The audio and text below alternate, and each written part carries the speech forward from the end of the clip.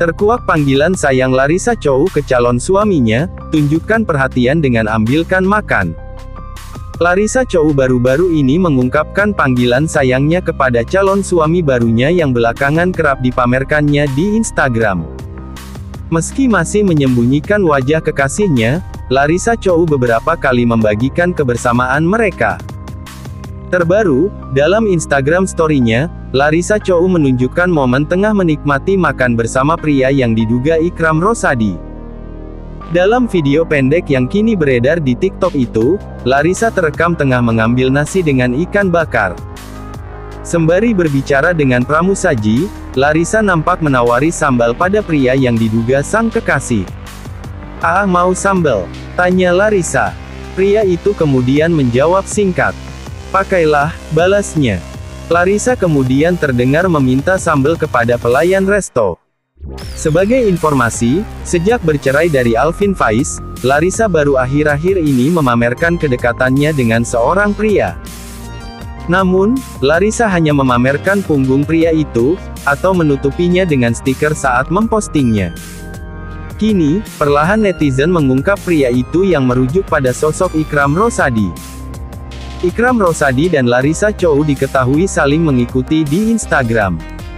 Pantauan pada Rabu tanggal 30 Agustus tahun 2023 Instagram Ikram Rosadi at Ikram garis bawah RSD hingga hari ini telah diikuti oleh 10.000 lebih pengikut. Namun, Ikram hanya menyisakan satu foto di dalam feednya. Meski demikian, potret kebersamaan Ikram dengan Larissa Chow sempat beberapa kali dibagikannya melalui Instagram Story. Dalam unggahan tersebut, Ikram menunjukkan momen dirinya duduk di bangku penumpang, sementara Larissa Chow di belakang kemudi mobil.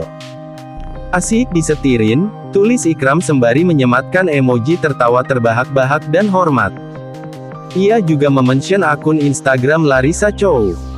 Adapun dalam unggahan terbarunya di Instagram Story, Larissa Chow membagikan kebersamaan pria yang diduga ikram bersama putra semata wayangnya, Yusuf.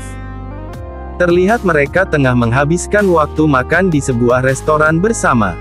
Nampak pula Ikram menciumi Yusuf yang tertawa riang. Larissa Chow menyematkan emoji hati setiap menunjukkan potret pria diduga Ikram itu. Siapa sosok Ikram Rosadi?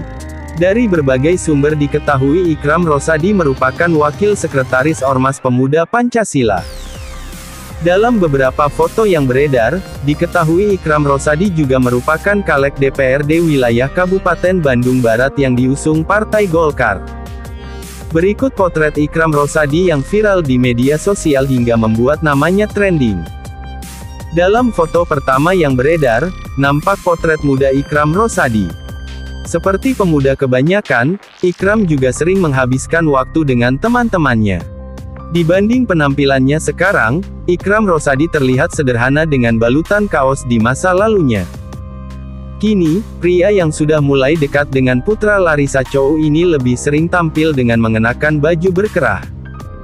Di foto lainnya, Ikram terlihat tampil mengenakan seragam kader Partai Golkar.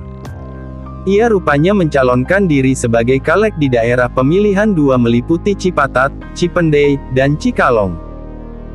Dalam bio Instagramnya, Ikram Rosadi menamai dirinya sebagai pimpinan dua buah proyek properti besar bernama Cluster Mega Bodas dan Bentang Art Residence yang juga bagian dari GSP Property.